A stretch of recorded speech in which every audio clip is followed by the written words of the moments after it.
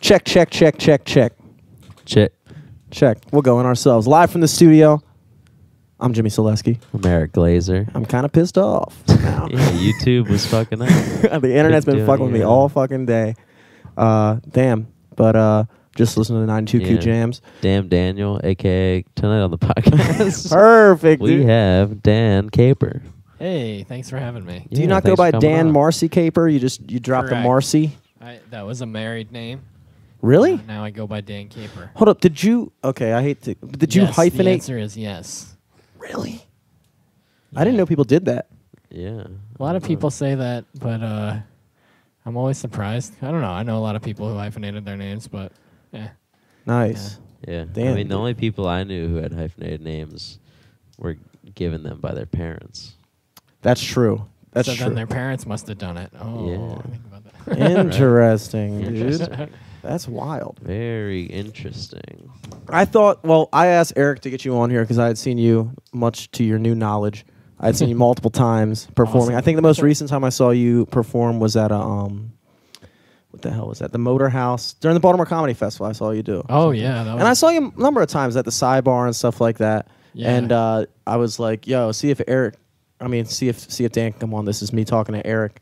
But uh, you have like a couple. that was a quote from He's me. not going to actually talk to you tonight. He's Yeah, just going no. to tell a story about a time that he talked to you. Yeah. but uh, kind of like what earlier this week. yeah, yeah, yeah. yeah. It's, uh, it's all happened very recently. yeah, yeah. Um, but uh, you got a couple things. That I also I think we follow. You have like what two podcasts going? A podcast and a web series. What's the Mhm. difference? Dan has jokes. The podcast. Yeah, the podcast is all about like joke writing. and Okay. has jokes, and then the web series is just this like stupid extra thing that I was like, well, as long as I have people here, um, where I just like film. It's like a late night talk show parody, and um, yeah, uh, I just film interviews with people, and then in front of a green screen, and then I take it all out of context. What's it called? Heavily edited. Heavily edited. I heard that was good. Somebody was telling me about it. Oh, awesome! Yeah, I'm glad Yeah. the word's getting out. Yeah, gotta bump up my uh, average 30 views a video. Go. No, you appear to be doing well, dude. I like your. uh Did you um? So I guess yeah. When you're a one-liner, I assume that like joke writing has to be like top priority because like you can't just have like a premise. Like uh, uh, most comedians, they have like a premise and they can kind of work a bit off that for like a minute, two minutes, three minutes. yeah, like, make a when they're good thing out comedians, they can do that. Yeah, yeah, Yeah, yeah. but like with a one-liner, it's like, dude, you got like a fucking 10-second shelf life on most of these jokes. I assume. Yeah, a lot of them are like yeah, between 10 and 20 seconds long. Uh, for me, like if it goes into the 40s, like 40 seconds, I'm like, wow, this is a long joke. this is gonna fill up so much time. really painting the picture right now. so how many jokes? This is, gonna, this is probably gonna be a weird question to ask you off the top of your head. But how many jokes would you say you just have like in your pocket right now, like qu- quantity Oh, wise? uh, I think actual like jokes that are usable. Uh, it's somewhere in the. I think it's like in around 230. Wow. Wow. Um, yeah, I've written a lot more than that, but Mm. as far as good jokes, yeah, yeah. That's because we you you've met Richard Bowen. I'm assuming at some point. yeah, yeah, he's, a good another friend of one mine. who's just like. Hmm. I mean, that guy. We have actually. I just moved into a new place as well, and I found one of his little rich jokes book. Yeah. Uh, he made like these little pamphlets, and uh, I put it on the toilet as like re- reading material, Yeah. just for people taking a shit at my house. Dude, you open it up. He's got like just like infinity amounts of those jokes just Oh, in that yeah. thing, Hmm. sitting right on top of the Aesop's fables. He does a lot of thought was puns. He like loves puns. Loves Yeah. puns, dude. And he won that uh, Laffy Taffy competition. yeah. He's like gonna write Laffy Taffy jokes. Now, did you? Oh, really? Yeah, yeah. Wow. Oh, dude, that's Yeah. like writing Snapple facts Oh yeah, almost, Yeah. uh, except funny. It's like a big deal. Yeah, yeah. Now, did you? Did you like? I guess. Did you want to become a one-liner comedian, or just kind of just happened? Like, I was happy about it. I because a lot of my favorite comedians when I was growing up were one-liner comics. I got really into Mitch Hedberg in high school, and Stephen Wright was like one of my favorites. Um, and obviously like Demetri Martin. Uh, I guess he was a one. I but when I, I started, I thought I was gonna be like a storytelling comic, like Mhm. uh, John Mulaney or something. Yeah, and that's yeah. what I was like really trying to do. Uh, oddly enough, my first set ever was just a few one-liners. Like I think I did six jokes, and then I got off stage, and uh, and then for like months and months after that, most of what I did was just like stories, whatever, and I was really bad at it. So do you? I guess it, my my. I guess the question I'm getting at is like, do you actively avoid stories at this point? Like, have you kind of put yourself in the category of a one-liner, or is that just kind of what just happened? Uh, I have stories that I'm sitting on that I'm trying to think of how to how to do on stage, um, and they're I if I tell them to people in person, it always goes over well. But Mhm. figuring out how to punch it up on stage is very hard. So I don't. I'm not gonna bring a story out on stage and try to work it out because that's not really a strength of mine. Mhm. Um, so in that sense, I do avoid it. But yeah, mostly, I, yeah. If, if I can think of a good way to make it funny, then I will. But mostly, yeah. I just I'm like, no, no, no, know your strengths, Dan. There's um an interesting podcast with uh Bill or uh what's the guy name? Bert Kreischer and uh Chris Titus. Ooh. And Chris Titus like tells him how he like basically just writes stories. And um I don't know the specifics right now. but you can look that up. Yo, It's what's- Oh, yeah. Chris Titus stories. yeah. you know what would really help you, Dan? There is uh, this thing that you should just look it up. Yeah. There's information out there that could help you. I can't give you the information, yeah. but it's I out there. can't. Yeah, but I know of it. The being information once you get it is amazing. Yes, it is helpful. I, I would- not yeah, so I it's one one of the things I've been wanting to look into is like uh, I am trying to um, get better at doing other things when I'm on stage. Mhm. Uh, like getting drunk and yeah, yeah, yeah, that yeah. sort of Yeah. stuff. Yeah. Uh, you guys crowd, start doing crowd work. crowd work is new for me, but it's been going like I've been uh, easing into it. I only have a Mm. couple things where I'll like actively engage the audience, but I've been hosting a lot more lately, so then I, you kind of have to engage the audience a little. Mhm. Yeah. and uh, that's been a lot of fun. You know, especially if I know that my joke is stupid, and then someone reacts in a funny way, and then I'm like, oh, this is just gonna be the joke instead. Okay. Yeah, yeah, How long have you like been performing? oh man, best question ever. Uh, uh, I almost five years, I think. Yeah. Five years. Yeah. And before you actually said something before the cast, which I thought was wild. But you used you were studying to be a pastor. yeah. So you're in a seminary. Yeah, the reason why I I didn't start stand up until I was 27 was uh because I I always wanted to do it since I was a kid, but I kind of never really felt like nobody was telling me you can't do that, but I never really felt like I was allowed to. And I was like, I, I don't want to be a Christian comedian because like I've, I've I I've seen a bunch of Christian comedians, you know, like from my former life, but uh, I'm just like, yeah, it's not really what I want. To do. Did they do. come like how like they do the USO tour? Did like Christian comedians and like singers come to the Into- seminary? Not the seminary, but I went to this uh, small like private Christian school when I was growing Okay. up, and uh, yeah, we would get. Actually, I only really remember one comedian who came through, and uh, some of it was funny, but it was just weird. He like, because it always ends with like you know, and now a gospel song or like and now a Jeez. serious message, and, And just now like, a well, word from Sister Francis. She's hilarious. Wait, where are you? Where are you from originally? Uh, I gr- was born in New Jersey. I grew up mostly in uh, in in rural New York, like about an hour north of the city, like uh, Albany or not is that far it is? north. So in Orange County, um, but uh, it's like where uh, Newburgh is, Okay. Uh, the murder capital of New York. Uh, but- nice. But, I was in uh, the thing is, I was I, so I was in a town called Greenville. But I just don't usually say that because even the people who lived in the neighboring towns didn't know that Greenville existed. Yeah. anything there. So it's I'm just like you know uh, Hudson Valley area. I just thought that was super. Like, did you? So I'm assuming you must have grown up very religious, right? Oh yeah, yeah. So super religious, and like, was it Catholic? What, was uh, it yeah, what Lutheran? flavor? oh, Yeah. uh, conservative Baptist. Okay. Conservative Baptist. Yeah, and actually, my childhood church was uh, self-proclaimed fundamentalist Baptist. Um, to the point. All right, check check. This has been a test of the emergency broadcast system.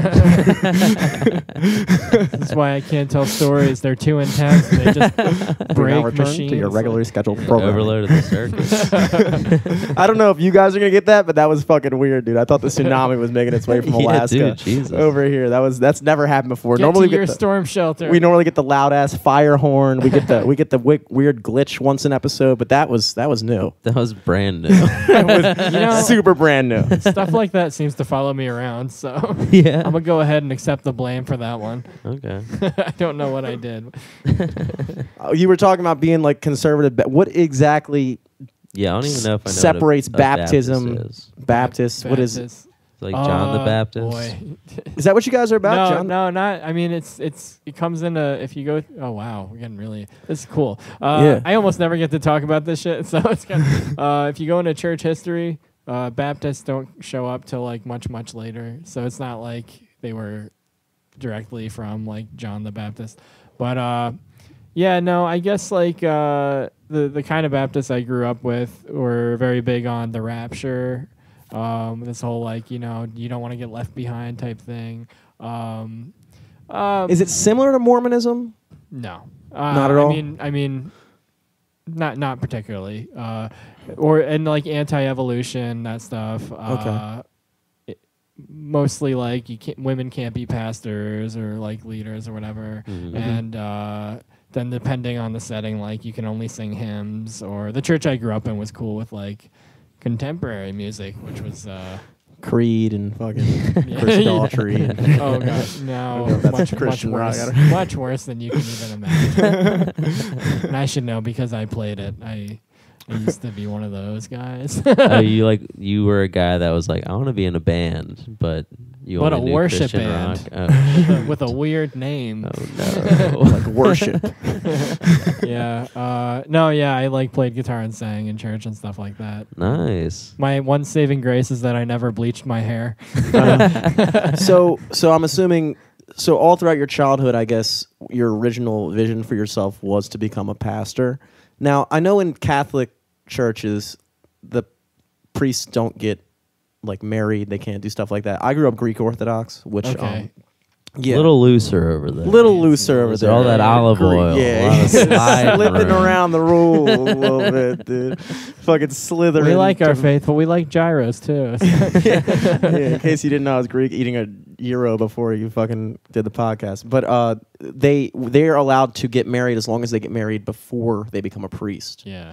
Um, but uh, is that the case with you guys? Like, what's the deal? Like, did you have to like take a vow of celibacy Oh and all that no, shit? you're just not supposed to like uh, have sex outside of marriage type Ah, thing. well, yeah. But uh, no, actually, I when I by the time I got to seminary, I wasn't like I didn't consider myself to be a Baptist anymore. So I was like in a more like uh, liberal denomination, Okay. and uh, but I wound up not getting ordained because uh, church rules are weird. So there's like Was it your choice or was it their choice?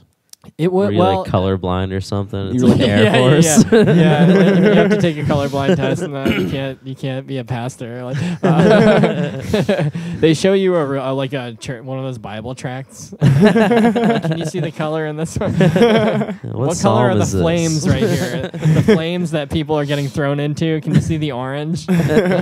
uh, no, it was like it, it was sort of not my choice. It was more like I was advised strongly against pursuing ordination, and because um, at that point I was gonna be ordained in the Reformed Church, and uh, what I'll say about that is like one of the big distinctive beliefs for that was the this idea of like um, predestination. So like God chooses you you're not you think you're responding to like whatever and making choices but god's actually choosing for you whether or not you're going to be whatever Is that Calvinism? yep So you guys uh, are Calvinists, not me i was never really on board with that okay? for like a hot but like. Baptist Baptists. baptists are you well usually really big on free will so they usually reject Okay. that uh, some of them get really into calvinism though and uh, i was like yeah, I don't believe in that. But there was so much other stuff because it was a more liberal denomination that they didn't believe in. So I was like, oh, I can get ordained here. And then someone was like, well, uh, if you're not a Calvinist, you really shouldn't. And I was like, but you don't even be- believe everything that the what? like, it was a Um, very weird moment. I guess that makes sense. So you like you had to have an honest conversation with them to tell them what you actually believe, and they were like, "Well, it's yeah, and by that with- point, it was like I'm not fitting into any of these. Like, am I? And uh, and then I was like, hey, maybe I just uh, back away from this whole thing. And what's the Reformed Church? It sounds like Reformed School. Is that like the bad boys of baptism go there? Like, what is that? sure. Bad boys at baptism.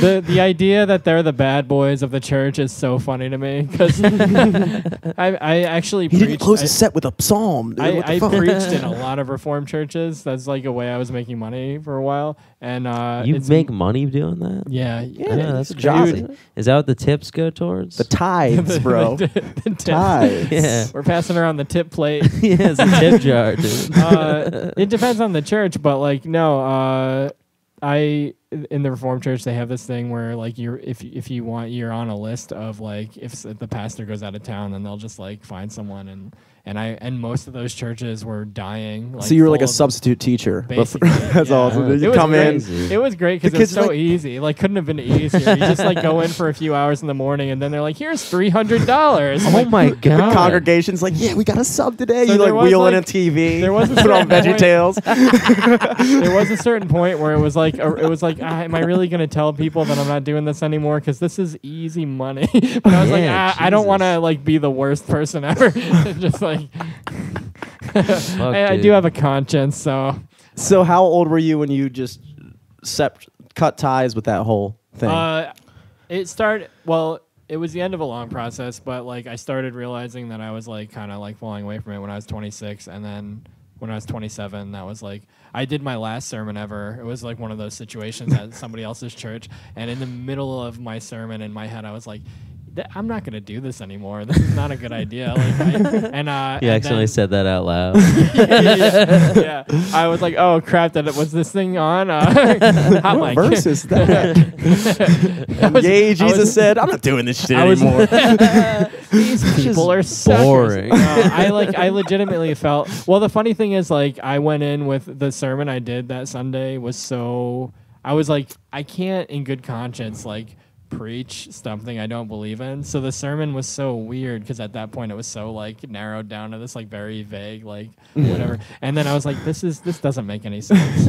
uh, and then uh, li- literally like a week later I was like ah, I, I don't think I'm a Christian anymore. That's uh, Damn. oh, so you just, you're completely not even, you don't even identify as a Christian anymore? Oh yeah, not at all. Really? No, That's no That's offense. something that you're thinking of when you were still preaching.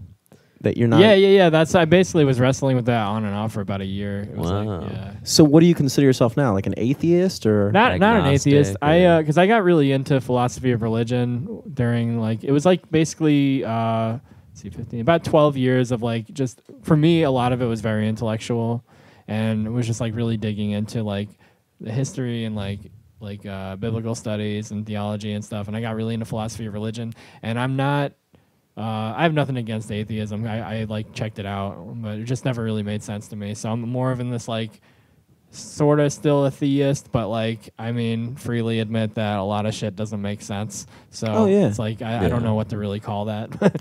I would say, yeah, we're probably in the same boat because I, I kind of found I studied a lot of philosophy and things like that, and you kind of bless you, you kind of do come to like a at least I I've I've kind of I kind of definitely believe in the idea of God. I just don't know like what that entails. Like I'm not sure if that's like a personality or like a like the way it's anthropomorphized in religion. Like I this- love that in the middle of that sentence you pause to say "bless you." Yeah. I'm a Christian, bro. It was so good. Like, oh, I know where this is going. yeah, like uh, what's funny for me, like the main the main reasons why atheism doesn't really make sense to me more have to do with just like uh, like philosophy issues in general that Mhm. only come up when it's like more foundational stuff about free will and um, oh man, I can't think of anything morality Mhm. and uh, like uh, rationality and stuff like that that I think is really interesting and it comes up in uh, if you like read like there's this book called uh, oh crap what's it called I'm totally blanking on it. it's by Alex Rosenberg Hmm. um, uh, it has some name like the Atheist Guide to the Universe or the Atheist Yeah, Handbook yeah, or I've heard of something. it. But like I go through that and I'm like, some, and it's mostly not even debating about God. Like it hardly Mhm. has anything to do with that. And I'm just like, some of this is like batshit insane. You know what I mean? And I'm like, and Yeah. and for me, there's just like these like it like works out logically. I'm like, no, I'm pretty sure I believe in uh in in some kind of creator, but I'm also not really interested in arguing with people about it because uh it's not really my. Well, part of being an Yeah. atheist is you kind of have to be a dick Yeah. about it. It's like one of the requirements. If are you white and an atheist? Well, congratulations, you're a douchebag. no, just- but like yeah I'm just i've always playing. found because I, I like i said i grew up greek orthodox christian and, and i i mean i never had any aspirations or new word i learned last week from michael for machinations of being a priest or anything like that but uh i i came to a realization that like a lot of the stuff that we read about a lot of the literal teachings and things like that I was like, well, that doesn't make sense. Like a lot of this shit doesn't make like the Calvinistic stuff like that, which wasn't Yeah. a part of my religion, but like there were so many aspects of it. But but ultimately, what you find with atheism is you they they come and they won't admit it, but they come down to the same logical impasse that theists come down to, which is once you've explained everything in the universe, you get to a point where you have to explain why it's there at all, Mm. and they can't. Yeah, They- yeah, yeah. They can't explain how something came from nothing. Nobody can, and so, I mean, I, to to be an atheist. And and Shout out to the atheist listeners. Thanks for joining. us. I'm not, a, I'm not, a, I'm not, I'm not like I, yeah, I have no, I have no. Skip qualms- like ten minutes. You'll. You'll- Guys, the next 10 minutes are going to be rough, okay? uh, but like, and then you look at like famous, like Albert Einstein was a was a theist. He believed. I mean, I, most of Yeah, Isaac yeah. Newton. Those got these, these. I mean, I, Oh Albert man, Einstein. everybody wants to claim Einstein. It's so funny.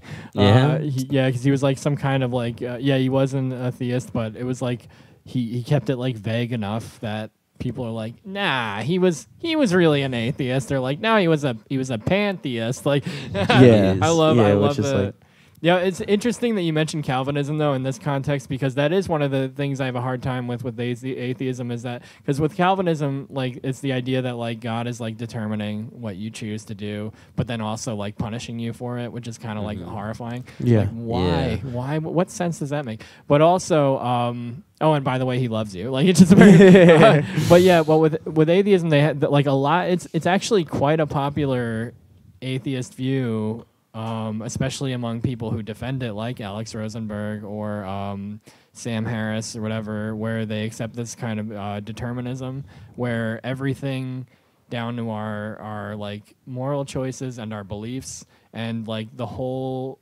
way that we form like rational thoughts is all determined by like blind physical processes. Yeah. And that's one of the reasons why I don't I'm like, but you're cutting out the ground that like if like you're cutting out the ground that this view stands on and uh, i know that that gets debated and obviously like people try to defend it or whatever and for me it just that's like one of the major things that i'm like i just that doesn't make sense to me and Well- i think it's very hard in, in my opinion i think it's very hard to defend free will from an atheist perspective Have you ever listened to Sam Harris before?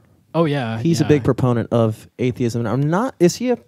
If you listen to him, do you listen to Sam Harris at all? Not really, He's a big, but like, is he a proponent of free will or is he? a no propo- no Yeah, he's he's Yeah, one of those he's a guys that goes against it. strong denier of it and that's kind of like it, it almost seems like a necessary uh, con- concession if you're an atheist to say that well if if we're just physical processes and there would be no such thing as free will like you might delude yourself or you might have this illusion of consciousness yeah. making you perceive that things are your own free decisions.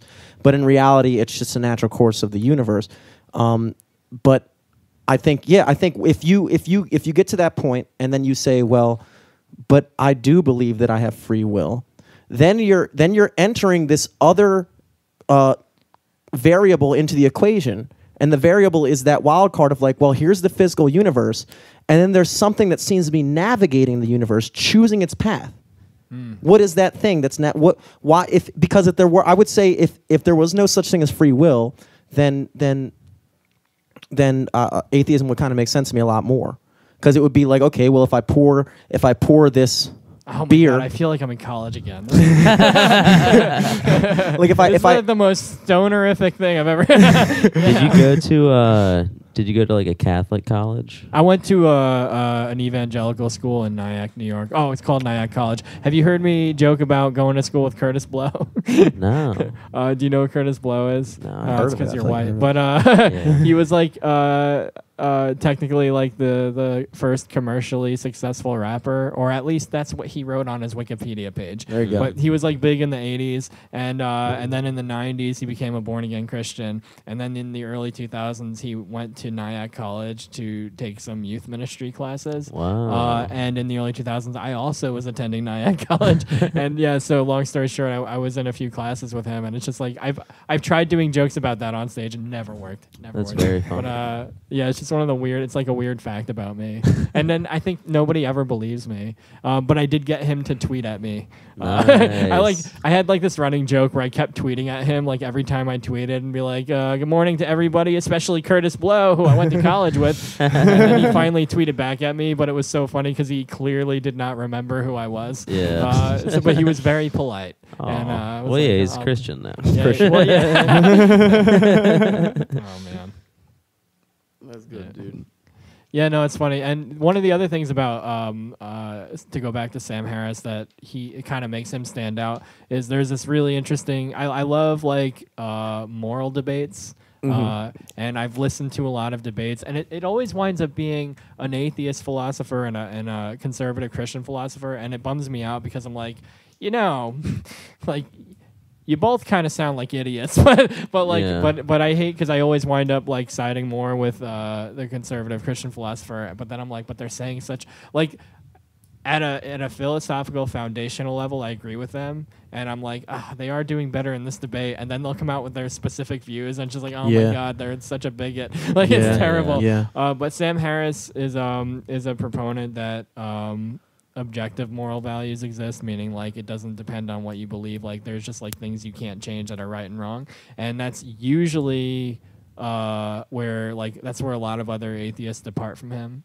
Um, again, Alex Rosenberg. I'm not really sure about Richard Dawkins. He's kind of like weird on that, but um, uh, yeah. So, but he's gotten also like his books have been like, I I I- I don't know how well received they've been with atheists, but he has one called The Moral Landscape that was just like ripped to shreds because uh, This is Harris. yeah, yeah, yeah, yeah. Uh, because he's like basically arguing that there are objective moral values, but then trying to explain how it can be grounded in the universe rather than God. Yeah, and that- uh, and and there's a debate with him online where he debated um, this conservative philosopher William Lane Craig, whose ethical views are terrible. But yeah, Sam Harris had could not. He had no idea like how to. Deb- it was like almost embarrassing. I would like to watch. see that. Yeah, you should. And Um, then the question answer session is wild. Someone who, and it's a controversial figure. I, I don't, I don't personally understand why, but uh, Jordan Peterson. Have you ever heard him? Oh my God, yeah. Yeah, I think he he's he's not he's not. But I, I, the reason I bring him up is because uh, he's not a devoutly religious person. No. But I think he does a good job of of he. I do think he's a theist, and I think he does a good job. I don't of, think he is, well, unless he changed recently. But he talks about God quite a bit. Yeah, well, okay, maybe I'm wrong then. But uh, what's funny is I my impression he has a lot of problematic things, like as far as like uh, gender and Yeah, that that's kind of one that's kind of one hill that he stood on that I think unfortunately for his own PR that kind of came to be what defines him as a person is his because that's kind of how he came to fame was Yeah, over his protesting to the Canadian bill that was like compelling saying like you, it's a jailable offense to misgender people and not use the proper pronouns and that that got him a lot of flack um, but he's really not he's he's a psychologist primarily. Yeah, yeah, He, yeah. He's a psych, psychologist, and he uh, uh, and he he really doesn't tend. I, uh, he doesn't really. I, I he just did a podcast with Joe Rogan. I think like last night. Did you catch that at all? But uh, yeah, I don't my think they God, talked about politics at all. Really, he's not a he's not a political figure. He's he is he's uh he's like a. I don't know what the word is. People say like self help or whatever like that. But bullshit like artist. yes, uh, yeah. I, I'm I- sorry, I'm just being a dick now. no, yeah, I, I like a lot of what he has to say. I can see how a lot of people think it's, um, I guess cliche would be the, but like benign, banal. We've all Yeah. heard it before and stuff like that. Well, but I think it's unfortunate that he's kind of been maligned by the media for for one stance on one thing. Well, I I mean I, I can't I guess I'm not really informed enough, but I, I will say one red flag for me with him was how because I used to I used to follow for a while uh, even after I uh, left the church this one Christian podcast, and he, the, it was the same guy. He would debate a lot of people, and like he debated Richard Dawkins and Sam Harris and all that. Um, and he wouldn't like he wouldn't like disparage these people, but he would come out of these debates like you know I don't know why they would say this or like blah blah blah. And then Jordan Uh, he'd do like a bullshit like session afterwards by himself to like with his diss everyone. Yeah, Oh, I mean, I mean, uh, they. Well, like, because there's the debate context where you engage each other, and Yeah, then there's yeah. it's his podcast, so he Oh, can do whatever he wants. Yeah, but, yeah, yeah. Uh, but yeah, like with Jordan Peterson, he was, and I, I have to stress, like his ethical views horrible. Like every time he like gets out of philosophy and starts talking about current events, it's just like, no, you're like a terrible person. And uh, yeah, Jordan Peterson, he was much more favorable to, and I'm like, ugh. which uh, which which ethical things do you not like? Oh, he. I mean, he's very conservative, uh, and he is, a, I think, a Baptist. So he's an uh, anti-gay and um, definitely anti-trans, kind of like sexist with his views on uh, women, and which that doesn't come up often. But homosexuality, he's definitely like talked about a lot. And it's just like extremely problematic. Uh, when Todd Akin did that thing about like legitimate rape, he defended him, and just like, oh my god, it's just weird, you know. Yeah, It's interesting. I, haven't seen half of that. You would, yeah, no, it's not like, yeah, it's, you're not going to come across it unless you go looking for it. yeah, my YouTube recommended is like cooking videos, um, like rappers on Instagram, and then like fight videos. of course.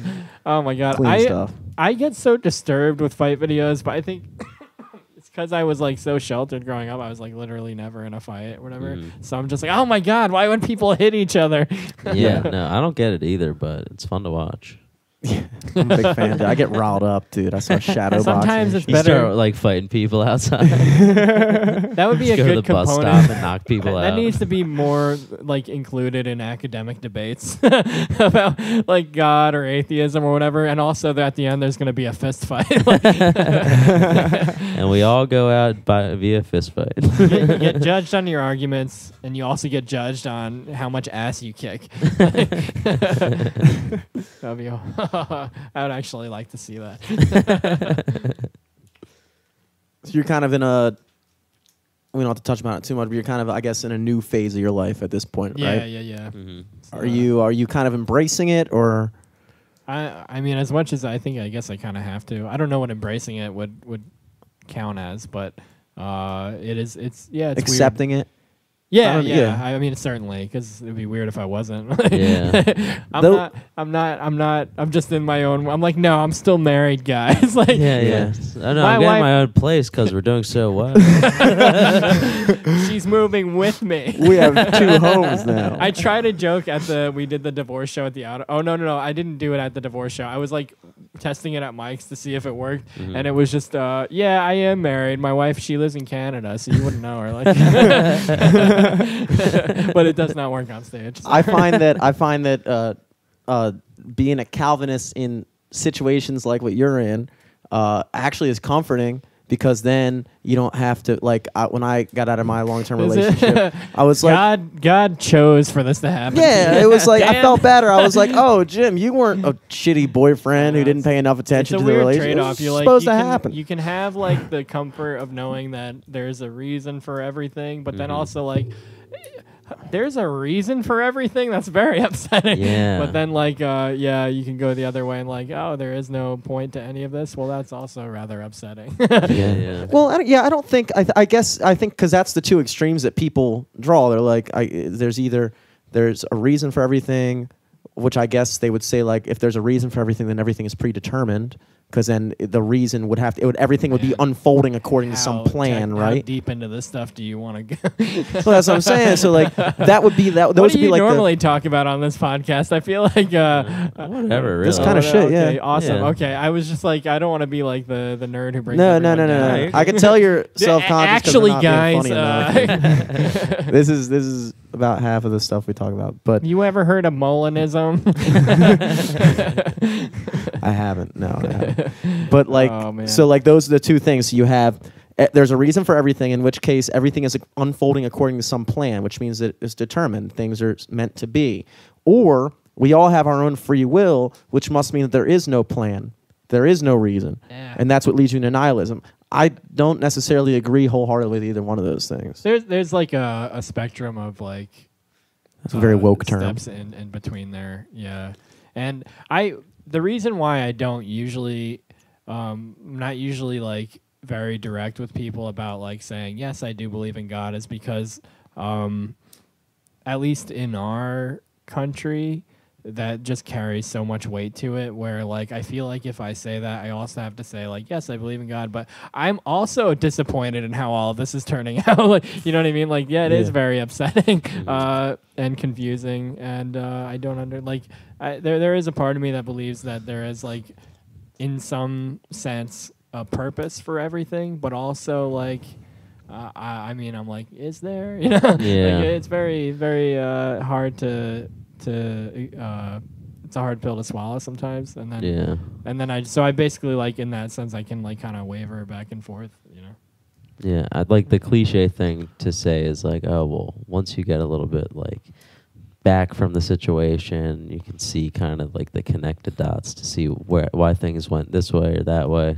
Mhm. Um, and it's like hard to see in the moment. But also, I don't believe in I any well of that see I shit. so because I like because I spent like literally like 12 years like digging into like that was one of the debates, you know, like and all like oh evil and suffering and everything. And it just gets like on the one hand um people have like I feel like a number of writers have like d- like raised a lot of really interesting shit about like like kind of like logically picking away at it and like you know the experience of pain or something is so intense and in that moment you're not really thinking logically because you shouldn't be you know you, you're Mhm. like um, and then so like there's a lot of like interesting stuff to consider and then at the same time some people kind of do that to the point of like almost uh, uh, forgetting how awful the experience of it is, and that it's very hard to you know to say like, oh, this happened for A, B, and C reasons, or you even say like there is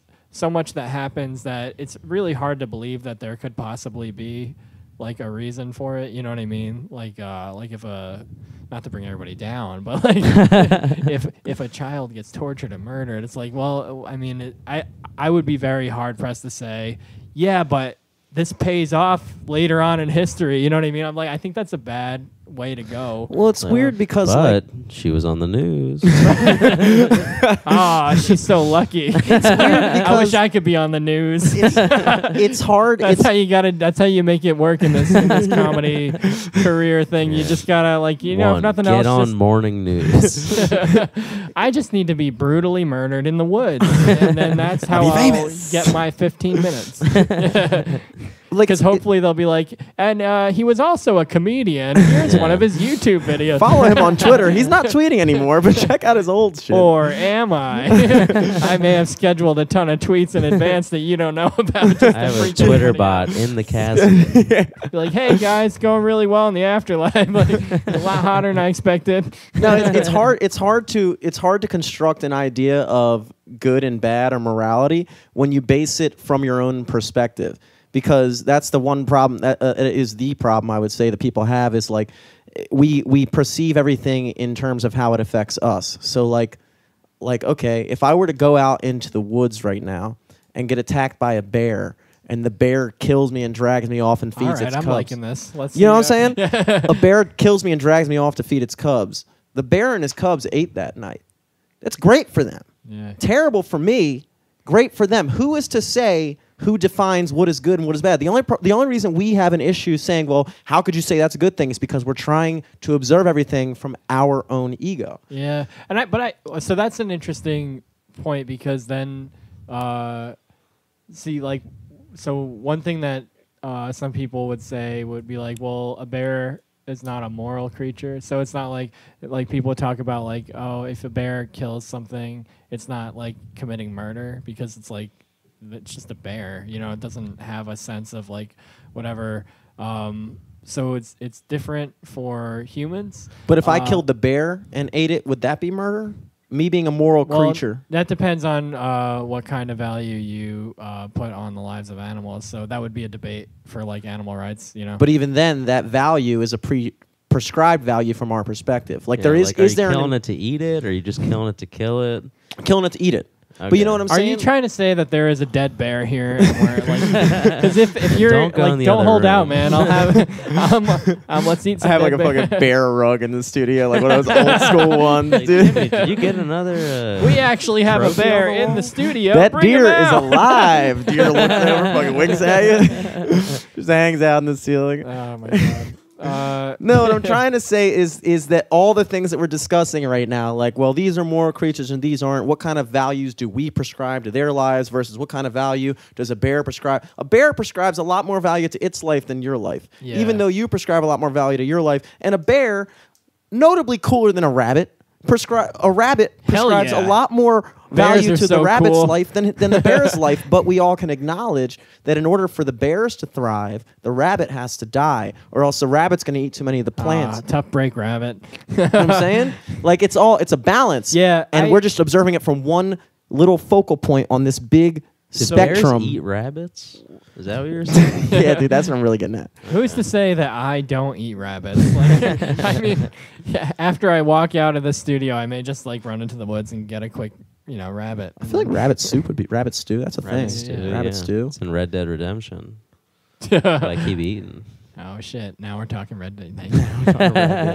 You don't have to. I'm probably the only one playing. I was it. gonna say because what what you're talking about now is more in the direction of making a case for uh, moral relativism. You know what I mean? Where Mhm. it's like, eh, like it's all it all depends on your perspective and everything. Um, but but so someone like Sam Harris or uh, a number of other people would would say there are things that for whatever reason like and and people come up with different theories about why are just wrong and you'd be insane like morally insane to not see that so like things that like easy examples would be like like yeah like torturing children or like Mhm. rape or things like that that are just like it's not to say that that's objectively wrong would be like it's not just a matter of perspective it's like there's something about that that's just simply evil you know what Yeah. i mean and Yeah. uh, and then on the uh, on the other hand there'd be things that are just simply good and so yeah No, see, I agree with you on interesting that. debate yeah I agree with you on that, and and actually, that is a good point because there's certain things that like, uh, you know, and I hate I, I hate when whenever children enter the argument, then I feel like I'm not allowed to like. And I know you're, nobody does this on purpose, but like you get to certain things that are so sentimental that like for someone to push back on it, it would almost imply that I have no like moral yeah yeah, yeah. care. You know what I'm saying? Like if I were to be like, well, you know, maybe, maybe we just don't. But like, i I guess, I guess the case would be like, we can't logically in our own minds process how certain happenings in the world could possibly be for the benefit of something else, or not even necessarily the benefit, like an for just earthquake or Yeah, or anything fucking- like that. Yeah. but Henry said this once: the the absence of evidence is not oh evidence God. of absence. that's okay so it's just funny you say that because that's a quote that Is gets- that not his quote? No, no, no, no, no. I'm sure it is, but there's a that quote gets used so much on that one Christian podcast I was using. I, Oh, was, I, mean, I was referring to before. Um, he might be and, uh, listening and to I that. know, like from like memes on the internet, that that's just like uh, a thing that will set certain uh, atheists into a rage. so Yeah. this will be like the the least popular episode among atheists. Like someone's like, "Oh my god, did he just say the absence of evidence thing?" Uh, but no, I mean, I like, I mean, I agree with that too. But uh, oh shit, what was I gonna say? I totally lost my train of thought. Nah, I More blew you away with that huge cliche, dude. Yeah, you fucking yeah. got you. You were like, "Wow, that is such a basic idea." No, oh It's- no, there was. Ah, you, you- what, what were you The saying? absence of No, it's right something before is that. not the absence Oh, I was gonna the say other thing. the idea that like sometimes you just can't see like the good in something, Mhm. which is true. But it's just that if you really like, if you if you try to turn that into a whole like, like say this is this. Like there are some things that like they seem bad at first and then they work out for good. Eric hates his mom because she signed him up for a 401k or something. Yeah. But Yeah, you yeah. know, Now he has a nest egg. Fuck yeah. that. now Uh, I can retire with like three thousand dollars. but yeah, but but like there are versions of that idea that that just get really ugly. You know what I mean? Or to the like almost to the point, even though they're just ideas, it's just like like dude, where's your like human compassion? So like the one uh uh to go back to this podcast that I keep referencing. By the way, it's called Reasonable Faith. Uh, That's a great band name. Dr. William. That is a good band name. Uh, yeah, and he gets trolled all the time. It's kind of funny, but like, uh, yeah, he his his version of like, you know, yes, this horrible thing happened, but look at how many people converted to Christianity. It's like, is that really worth like, I don't know, a tsunami wiping out a Mm-hmm. whole like? No, it's like that's kind of a horrifying way to look at things. That's Um, crazy. Well, you have to. I like the word faith because faith is something that, whether we admit it or not, everybody kind of has. Faith is faith is, if you were to define it, it's a belief in something without necessarily having a logical road to getting to that belief. Like, for instance, with human compassion, if we have a discussion where we, in an attempt to define morality, decide to step outside of the confines of normal human compassion and thinking in terms of, of ourselves and, and the benefit of us, then we're leaving behind this idea of faith that ultimately like really you're going to say this that the other thing but we all like how could you how could you where's your compassion or something like that? Like that's a faith thing right? Like we all have faith in this idea of like virtue and things like that. And so for us to go against that in trying to define morality we're questioning the faith in that thing. Does that make any sense what i just said? Yeah, I think when I when I so when I was still like like I, when I was a Christian, I I defended it a lot, and that was a thing that I appealed to frequently. Um, not like I was going around arguing with people, but I would like was like working these ideas out for my Mm-hmm. like like just re- I wasn't I was never the sort sort of personality just like what are you an atheist like come on like uh, but yeah no like I think there's like some validity to that because uh, yeah like and it comes up in philosophy too like you can't like the whole thing about like how do i know there's really a world outside of my senses and that my senses aren't like you know obviously the matrix is a thing but like uh like the traditional thing was like a brain in a vat how do i know i'm not just a brain in a vat and people Yeah. are like and so like it is sort of a uh, depending on how you define faith it could be seen as an act of faith to say like no i'm gonna like believe that like there's a world out there or i'm gonna believe that i can trust my own ability to form a coherent thought Mhm. or i'm gonna believe that there like um other minds that like you're not just like a, a mass of flesh but like actually Yeah. like another person like i am or whatever. Mhm. Um and then of course there are people who say there are no such things as persons. Oh yeah yeah yeah like like right now we're all like whether we acknowledge it or not we're all operating on the same baseline system of faith. Like we all believe this is real. Yeah. Like we're this conversation is definitely happening. We all agree on that. But like ultimately It's an interesting debate too because uh, so yeah, people will debate whether or not that kind of like foundational like just accepting something as true can be rational or not, and uh, that that debate is very interesting to me, and I sincerely don't know what I think about it. But there's this whole thing about like uh, like properly basic beliefs. I sound like I feel like such a nerd right now, but like literally never talk about this stuff. So here we go.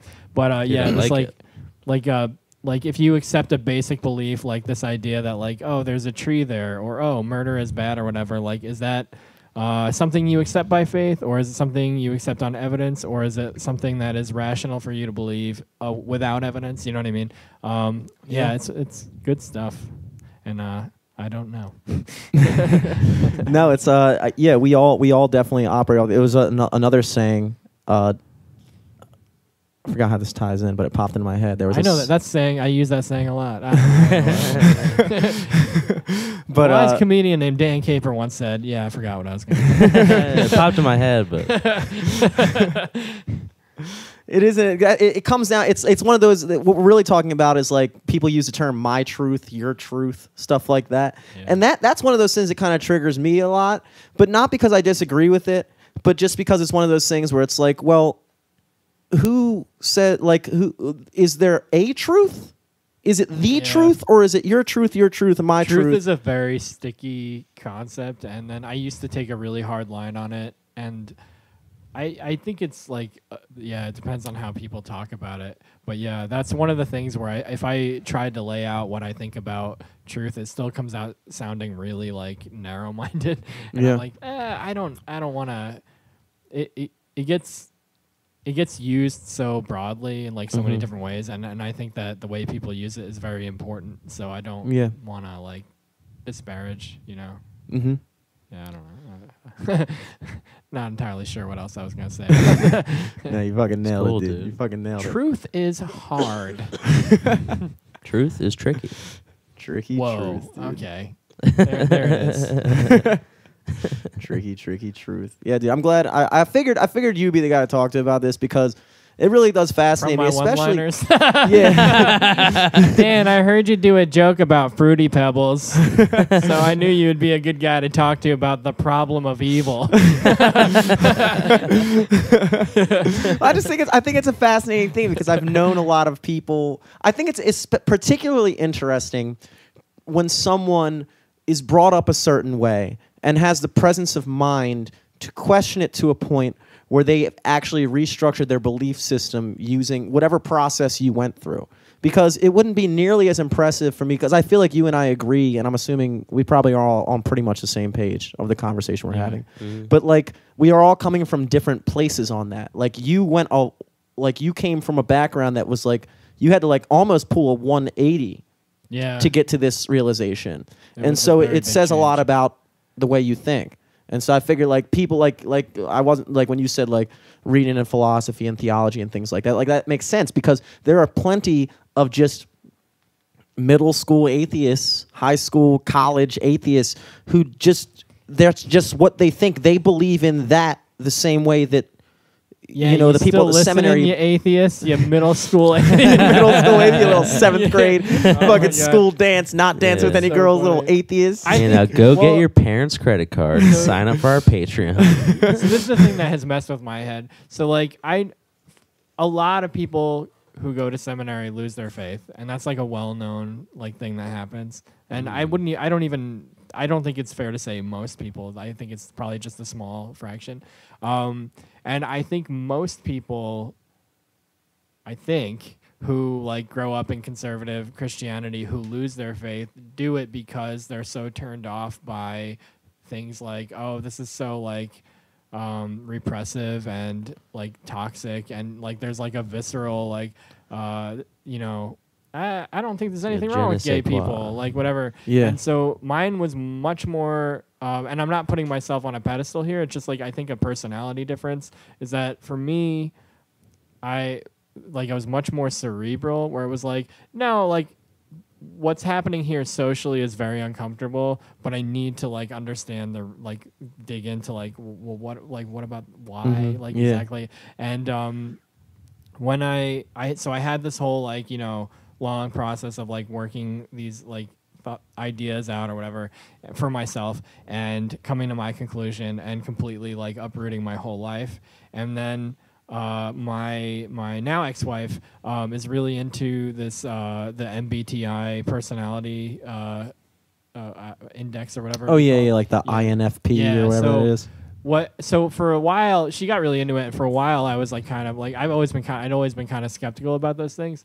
And uh, so my personality type is intp um, and uh, i remember we we wound up finding all these different like websites or whatever. There's this website written by another intp about intps and he had this whole section about like it's very common for intps to like have this big like crisis of worldview usually in their 20s and he basically just like in very great detail outlined like this whole experience that i had just lived through and then i was like what like but i believe in free will like, like, Yeah. it's, like it messed with my head so bad and i was like i don't even know what to do with that but that's crazy It is funny when you talk about that, and when people talk about that, I I always think of like it almost sounds like the same way people talk about like horoscopes in a yeah, way. it's or like something like- horoscopes It's for like, like, oh, Yeah. you're such an psychologists. IFT. but it's not saying I'm like, not supposed to. uh, But it's yeah, based off were of born this yeah. month, so you're gonna meet somebody. It was like, well, because INTPs they they tend to be analytical and they tend to do this and that. I'm like, well, that's all true, and like, because it's like based on I my knowledge of myself, that is what I am like. You know what Mhm. I mean? Yeah. And it's extremely it. Well, in this case, uh, it was extremely like detailed, and all he would have needed to say was like. And then they lost their faith. Like, and was like that's me. Basically, just told my story. It's crazy. Yeah, A but very yeah, it was like one of the person trippiest things I've ever this week. experienced. Was uh, just like r- reading this whole long thing, and I'm like, I, some guy, I have no idea who he is, never heard of him or whatever. living in who knows where in the country and don't know when he wrote this and just basically like describing in upsetting detail like an experience I had just lived through that was just so like Well, it is. I mean, it, it, it seems uncanny, but at the same time, it's like, you know, how difficult would it be if you gave me four character traits about yourself and I was a trained psychologist, for instance, or, or even not a trained psychologist, but if I just took the time to just say, okay, I know this guy's analytical, I know he's introverted, I know he's this, and I know he's whatever the fuck P stands for. You know, who fucking knows? perceiver. Perceiver. All these different things, and I took I those still qualities don't of you. know what that one means. Yeah, I'm not sure. I remember taking. I think I was ENFP. Extra. I, I definitely got extroverted. Oh, was I think that's. E, right? yeah. Yeah, it was like either E or I, and then there was like the other ones. So I think we were the same, except I was an E. But like, but like knowing those qualities, you could pretty much, to some level of of detail, kind of depict to a person, like the what the different obstacles they're gonna encounter in life, and the different like things they're gonna be good at versus the things they're not gonna be good at, just off of knowing the type of person you are. Well, yeah, You that's know, why I think there's some validity to it. Because uh, if say if I if I met like uh, I don't know a teenager who was very similar in personality to me, and I could see them, and if they were like uh, you know also very devout.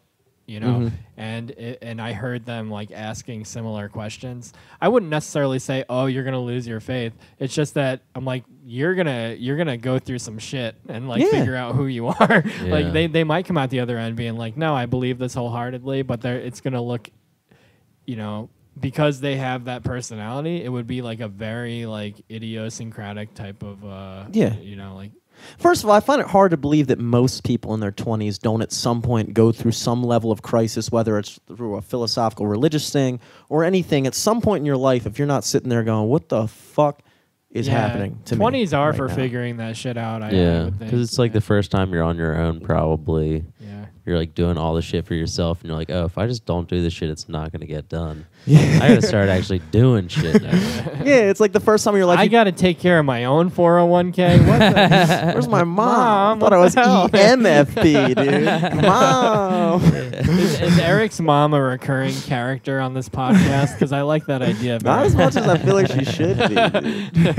I just definitely I had want there to be a, a She listen, segment dude. where Eric complains about his mom, No, and it's always about something that sounds like it sounds like that's very important. Eric, maybe you Yeah, should. nah, she's First of all, let me just say this.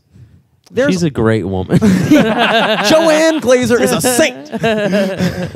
but but even the type of person that would be reading an article like that, it says something about you to the person writing it. Well, that's why there wasn't. Well, this is what's kind of funny. So, like, there was not uh, a, like uh, what's the word?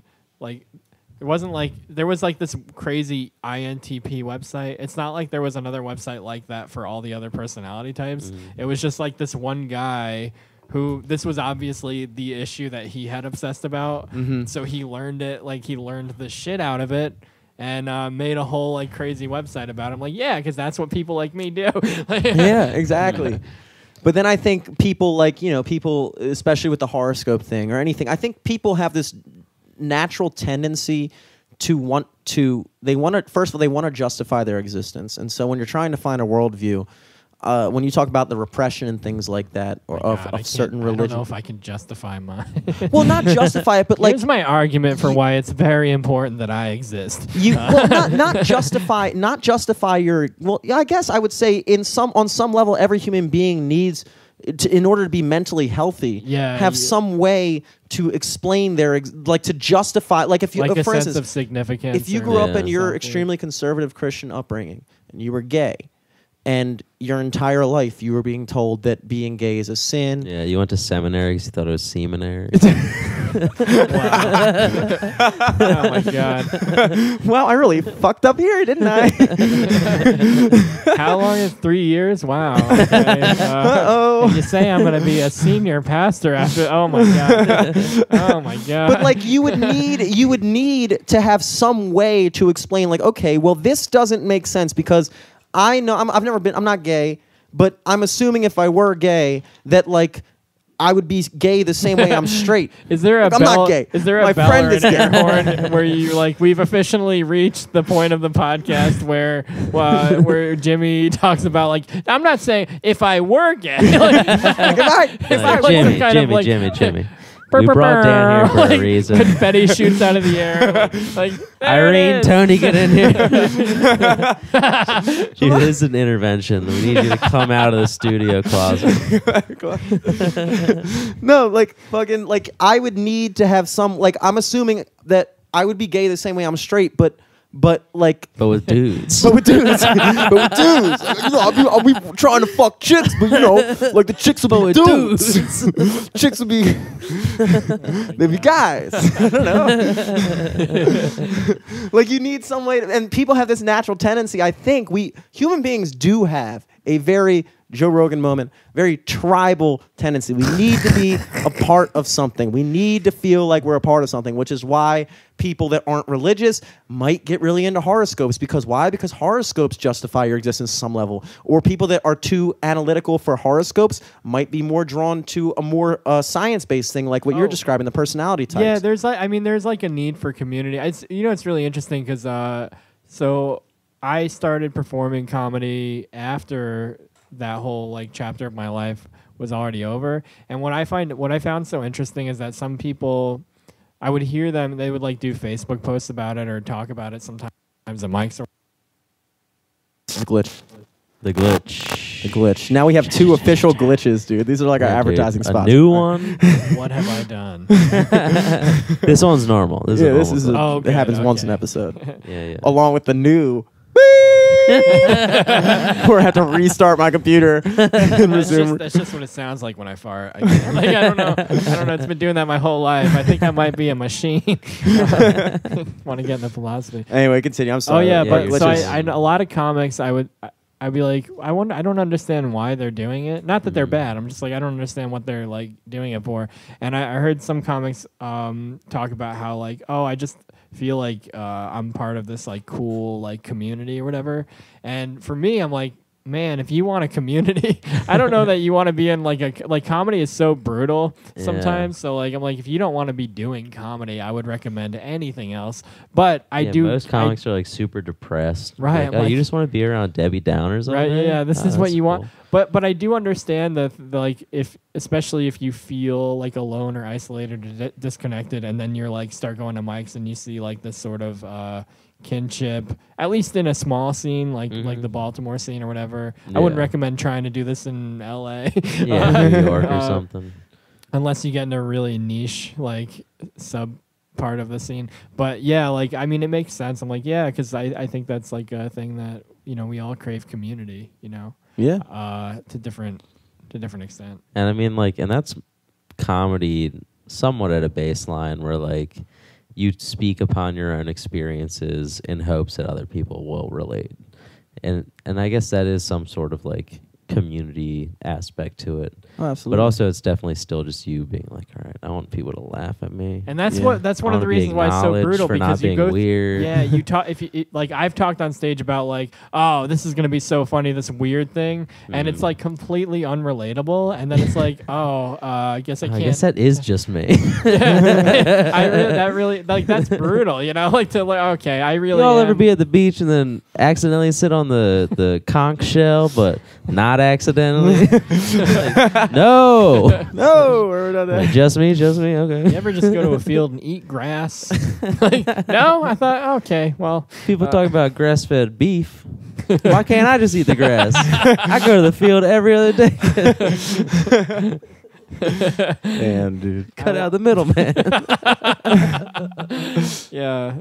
Oh, but I mean, it is kind of liberating too when you say something really weird about yourself on stage, and then that's what people find like.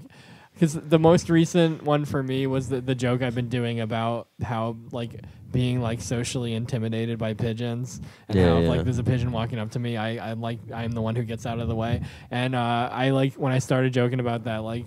For whatever reason, like a bunch of people were like, "Oh my god, that's so true," and I'm like, "I'm like, really? Like, okay?" Because I thought I was just like a like a really weird person, but um, you know, just like other people with intense anxiety or whatever. I don't know. it is nice to like have that, like, yeah, and then you're like, I'm the voice of a generation. of just very uh, weak-minded people. yeah, I, I like that. That's that's the demographic I represent. It's like Just the, scaredy the we- cats. the- the Scaredy cats. the weakest, most fragile demographic ever. I'm like, yep, I found my people. Oh God, and then you feel worse. I, I, I found my community, guys, and it's It's like, oh no, it's that guy relates to me.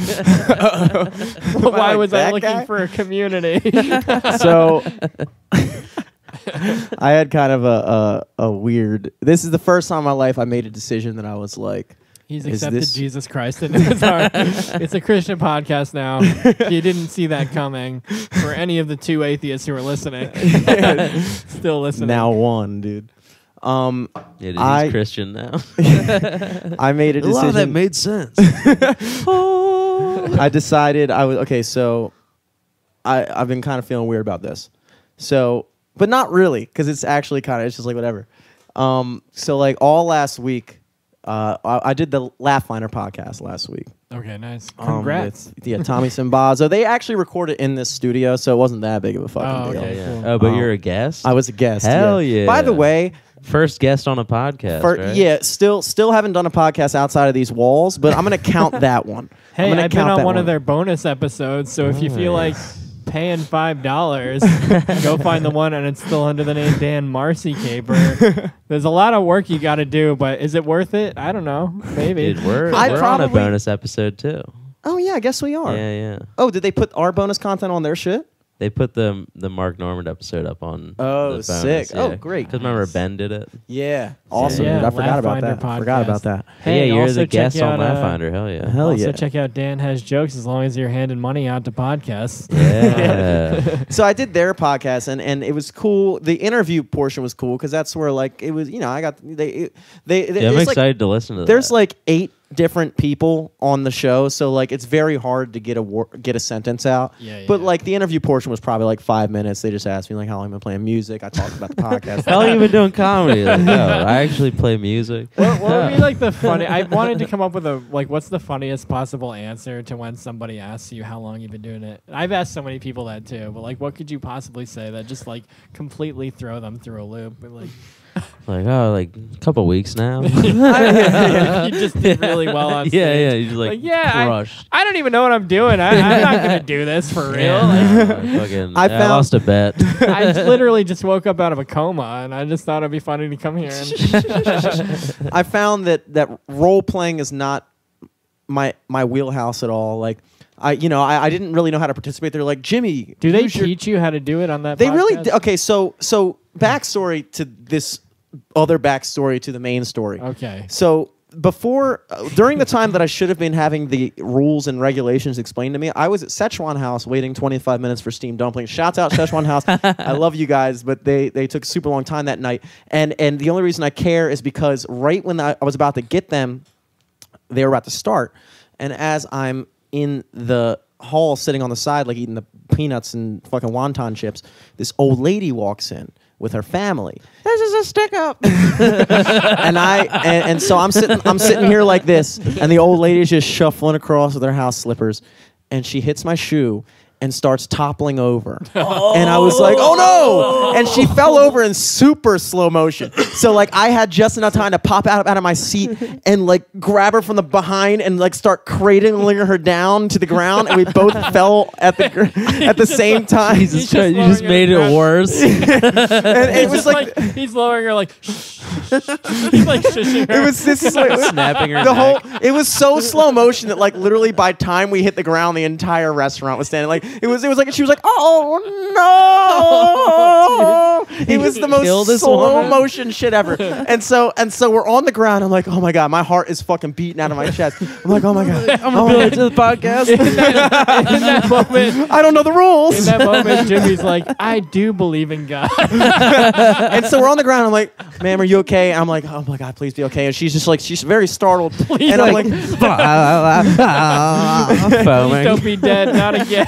And so and so I'm like, all right, let me get you up, let me get you up. So I stand up and she's just sitting on the ground like this, just just completely dazed and like Fucking- disoriented. oh my God. And I, I try to I try to help her up, but I try to help her up the way I would help up like one of my boys, like just like fucking grab both of her arms and just all right, Papa. And she's like, I don't think I can do this. And I was like, oh no, oh no. And then her, the like one of the guys in the was like, all right, uh, let me let me get it. And I was like, no. At this point, I was like, no, I got to do this, or else I look like a jackass.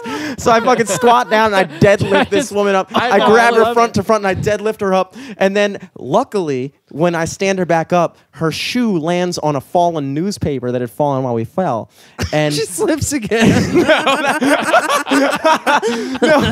the, the the fucking husband goes, "Oh, you must have fell on a newspaper," and I was like, "Jim, just don't Yep, say shit. yeah, you fell on a newspaper." anyway, so that all occurred. Uh, it was it was crazy. Immediately after that, I got my dumplings. I was like, "Guys, if you would have had it done like two minutes earlier, that whole thing wouldn't have happened."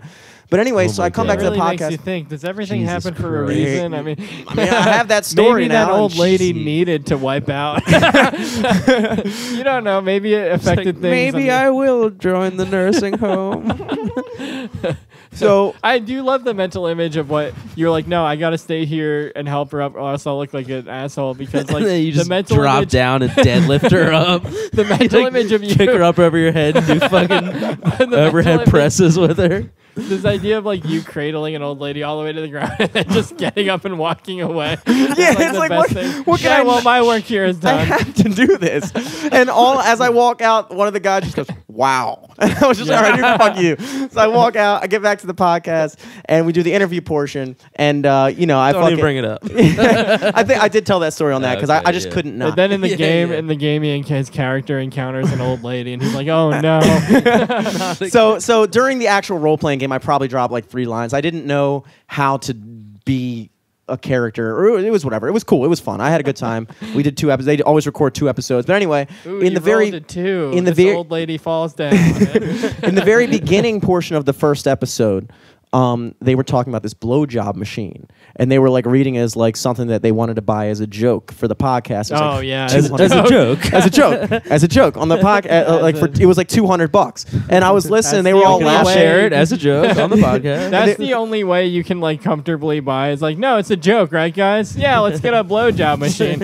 So, Does so this come with like a cleaning kit? It's gonna be hilarious, right, guys? so they, so they. How uh, many people from the podcast were on board with this idea, and how many looked uncomfortable? I think, I think everybody, everybody's Are always we on board really with it. spending You know what I'm saying? podcast budget money on a blow? Okay, Everybody's always on board with it. So they're all they're all discussing it, and they're like they're making a joke of it. But in the back of my mind, I'm like, this thing sounds kind of fucking awesome. It's only Like, two hundred dollars. So, like, so check it out. So check it out. So so I'm at home one night and uh, I fall asleep and it's the night of th- it's Thanksgiving night. I go to bed. You fall asleep with the blowjob machine on. no, no. So, so I wake up and I have well, a he dream. had to cradle it to the ground. He had to cradle it first. it's, it's a joke. Everything, so I have a dream. everything happens for a reason. I wake up in a cold sweat to a dream where I was jerking off with a blowjob machine. I wake up to this cold sweat and I'm like, you know what? Fuck it, dude.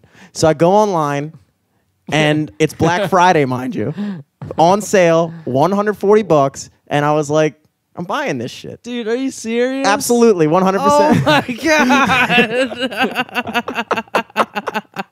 this is what I'm saying. This is one of those things that I wanted to tell you guys about Oh to liberate God. myself from my own shit. self guilt. That's so I so so I buy this thing, right? And so Dude, Black Friday was last week. last week, yeah, this it's uh, very so it's recent. here. Ve- It's here. If- it's here. It's here. no, I, No, still, I have to see this. Yeah, I'll show it to you. I'm Oh afraid. my god! I'm afraid. I, I, it's like in a fucking case. I, So- I just Guitar want to go case. on record here. This episode does not end with me using a blowjob machine. I'm just telling you don't know now. that yet. You haven't seen I my feel blowjob pretty machine. confident in telling you. so so I purchase it, and and now now all I've done This would have to be a really impressive looking machine. it's um and what so kind of personality? Uh, all I've that done is saddle myself with just an immense amount of stress now because now it's getting delivered to my apartment, right? Which I share with my brother. and so and Oh, s- classic mistake. big if you order, blowjob machine for idiot Yeah. virgins. classic mistake. If you order a blowjob machine, you don't want your neighbors to steal it. Have it delivered to your employer. you have it delivered to your parents' house. so 3 days later my brother's like, "Yo, Jimmy, I invited our cousins over to take a look at the new apartment." And I'm like, "Okay, sweet." My two girl cousins come over and we're all sitting there drinking. And my on, brother like the coffee table. my brother picks up his phone and he goes, "Shit, dude, we just got a package. I'm gonna go check this shit out." And I'm like, "Dom, pretty sure it's for me, dude." And he's like, "No, dude, I just ordered my bed." I was like, "Dom, it's not your fucking bed. Uh, Look, it, I, I was like, it's your Christmas present." I said something bullshit, and, and and like I was like, so, What if he opened? it? so notably, Open it early. What if you said it was your Christmas present and then he opened it anyway? yeah. so so I so I'm walking out of the apartment. I grab the keys. I'm like, give me the keys, and I'm like so suspicious about it that like as I'm walking out, my brother jokingly to my cousins goes, "It's probably a fucking flashlight or something." You're like, ha ha. I wish it was a flashlight. so I go downstairs, grab it. It's that, and I put it. I put it in my car because I was like, all Came right, in like a clear plastic bag. you see completely inside of it. yeah, with like the most with the most sketchy fucking name. It's like Feel Me Enterprises. What is this? Feel the enterprise. Real Touch Co. What the fuck is this? Oh so, so I put it in my car, and I'm like, shit, dude. And All so, right. how so, many times has this machine been used between the story? so, and- so here's here's the kicker. Here. Oh. Here's the real kicker. He here's didn't real get the car plug adapter. Actually, the thing that I'm using to charge my phone is the flashlight charger. Are you serious? I didn't have a phone charger. This is a two Flashlight players. charger. So, so, so I get it, and the whole whole week thing yeah, you put it under quite a turn. sunlight. For I'm like, I'm 10 like, minutes. dude, I'm like, dude, this is ridiculous. Like, this is, I'm so stressed out, and I like, I'm like, I'm I could stressed really use a blowjob. so I grab it and fucking and fucking. I just so, need something to take the edge off, man. so I get this machine, and you have to charge it for five hours, right? And so five, five hours, five hours. I play at high tops with Scott. I do an edible with our old pal John. Uh, I do an edible with him, and I get high as fuck halfway through my gig, and I'm like, oh my god, I'm high as shit. Scott's there. It's at high tops, and so this is a Tuesday. This is Tuesday night. Next thing you know, end of the set. I got the blowjob machine on stage. We're singing Wonderwall. I was gonna say like then I looked down the other side of the bar and what did I see? It was my blowjob machine and it was fully charged. They're like, hey, this is for you. It's like a sh- drink. It's like, yeah. Points over there. It's just a blowjob machine. just on a charge. Like, oh, nice. nice. Warning: blowjob machine may be clingy. so, so we get back to the studio, and I'm like, I'm getting dude. so uncomfortable with how the story is gonna end. So, so the blowjob machine is sitting at the studio, and Scott's like, "Yo, let's go back to the studio." I'm like, "Fuck!" so I rush back to Scott drives because I'm like too high. I rush back in. I come he in and the- drives you, but then you jump out. immediately. run in here, run in here, grab the studio key, throw it in the room, throw it in the fucking room, just tossed it, come back out, lock the door, and I'm high as shit, so I can't play it off at all. I can't play it off at all. Anyway, it's not a blowjob machine in there, that's for sure. Scott Scott leaves after we watch like a bunch of music videos. I'm like high as shit, and he's like, "You want to sleep inside?" I'm like, "Nah, dude, I'm fuck. I I'm always just sleep in." hoping it ends with this is a glorified space heater. Well, Like- okay, so so here's what happens. Man, this really hurts. Why does it smell like kerosene? so so I gra- so Scott goes in and I'm like, all right, I'm high as shit now. I'm gonna fucking I'm gonna try this thing out. I'm gonna try it out. yeah. so so it comes with this like thing liner that you put in it or whatever, and I gotta show it to you for visual liner? representation. oh my god, hell yeah. and so and so I I put the liner on. and I'm like, oh shit, I don't have any lube. So I just like spit on my dick. Ah! just like do a bunch of that shit. And then so I'm like, no way that this felt like a fulfilling okay, human let me tell you something. There is no more. I didn't. There is no more bittersweet. And this isn't me bragging. I'm not trying to brag. Obviously, not trying to brag. I just told a story. come across as bragging. but there is no more bittersweet experience than buying a flashlight online, spending $150 on it, and then Shout out trying to it the on, Sponsors of the Trying podcast. it on. and realizing, dude, again, this isn't braggadocious, but like it didn't it didn't fit me.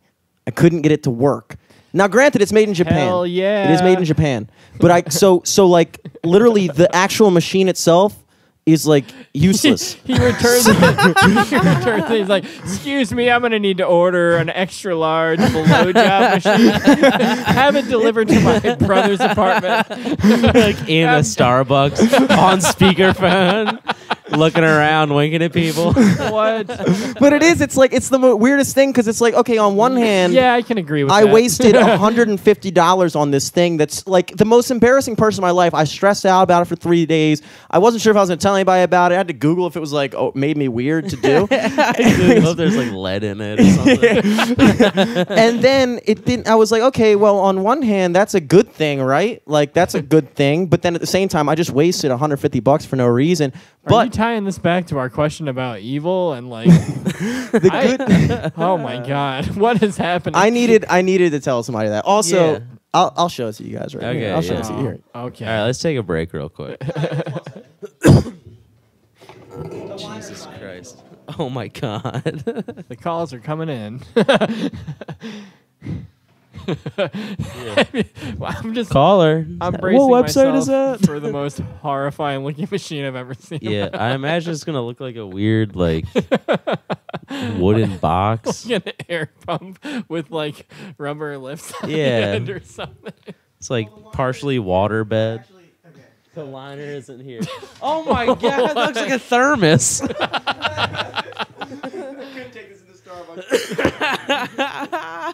oh my god. This is the cap, which I just have on the desk. All right, so for anybody What who is for anybody who can't fucking see what's Turn that going shit on, I'm trying to. I think oh it's Oh my the battery's so dead. Hold on. Oh, here it's it's gone. Hold up. All right. Wait, point it this way. Point it. Oh my god, dude. the least sexy thing I've ever seen in my life. That's just like It the- looks like it just s- presses your dick down. that right there is a It looks like it humongous- just closes on your dick. why Look, this is this is be the first official product review I for was the expecting podcast. some robotic Makes voice. perfect sense. The Some, like- Kiru, whatever the fuck this is, It's promoting blowjob machine.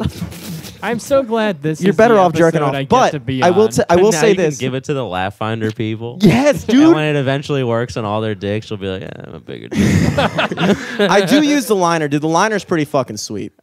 The liner's sweet. I just took it out and I just jerk off with it. It's fucking awesome, dude. It literally feels like vagina. It's crazy. It's honestly crazy. And I don't want you guys. I here's the You worst. have an unsleeved liner. Yeah. A fucking little. I want like- everybody to know this. I do. I do actually the, the most pathetic fuck. the most pathetic part about this is is I actually do have sex. But for some reason I made the most fucking Humble neck beard purchase of all time, dude. Like there are guys who get way less ass than me that haven't made this purchase. I'll just say that. Which is why I don't care, dude. Like I don't care. I'm liberated now. I'm liberated now. I, Jimmy Solesky, bought a fucking blowjob machine. All right? don't act like you wouldn't want to try one. Don't Hi, act. Demetrius Celeste. Demetrius- I, I'm gonna go ahead and say I'm not acting. I, I feel pretty comfortable saying, yeah, I don't want to try that.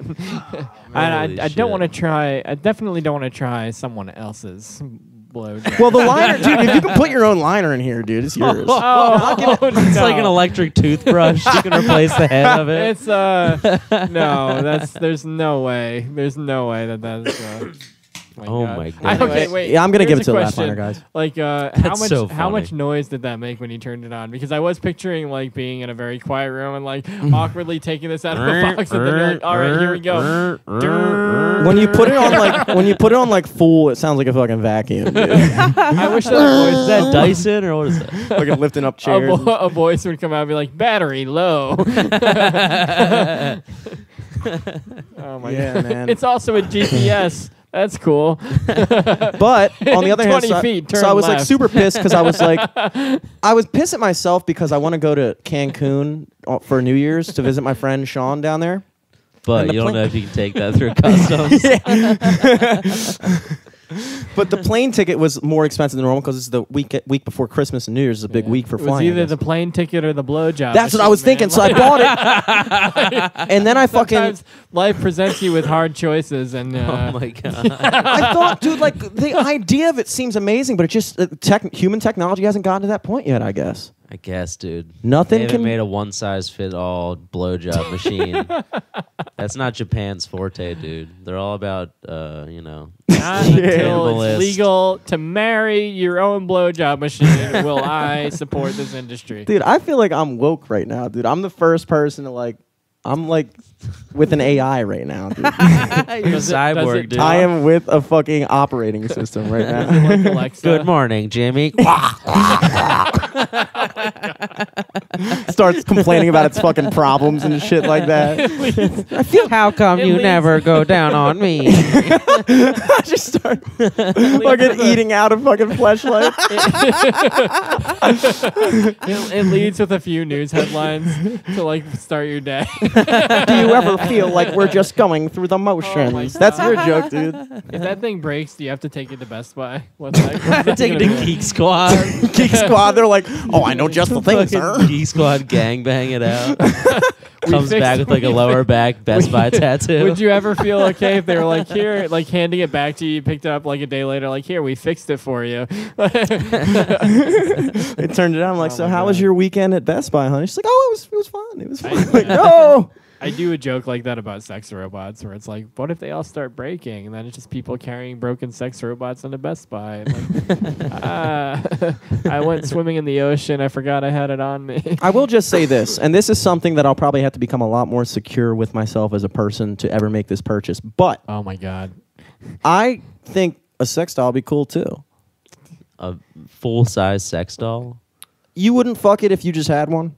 Nope. I don't know. You Well, wouldn't. I mean- you wouldn't if you just had one. If somebody gave I- one to you, I would not trust it if someone just gave it to like me. Like as a present, If one like as a gag. what I would feel so put on your porch uncomfortable one with that I buy you one for Christmas. Ha ha ha. LOL emoji. Fucking weird uncle emoji. You don't fucking fuck that Jimmy, thing your once. sex doll accidentally got delivered to my apartment. What's going? You might want to come pick this up. yeah, my brother's on to me now, dude. Just fucking cover for me. if someone ever buys me a sex doll as a gift, I'm ending that friendship so quickly. Somebody just Dude, just you have misjudged our relationship. Dude, I'm commencing that friendship. First of all, just weird poll. If anybody actually listens to this I podcast, got a great deal Would on you it. fuck a sex doll? I found it on Craigslist.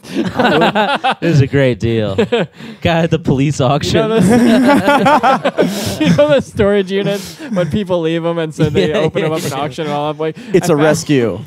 Dude, I got this for a so cheap. Are there cheap knockoffs of like higher brand sex, Sex dolls? toys? And then it's Yeah. like this Yeah, just fat like, chick uh, sex dolls, dude. Damn. like I need a couple shots before I fuck this thing. Jesus Christ. I'm sorry, women. uh, I apologize. sorry, we have no I- female I- listeners. I'm pretty sure. I mean, go ahead and register a guess that any women who were listening have long since. Uh, Oh yeah, they're atheists. They got pissed off. yeah, they're they're yeah, atheists and they're fucking yeah. Oh, I don't imagine that that's was probably too appealing of a clip for a woman, but I don't know. Could be. I did say I have sex. Fat shaming the Ladies. sex doll. Ladies. Nah. Ladies. Not I my took the jam. sleeve off my blowjob machine. I just keep it in my nightstand and Ladies.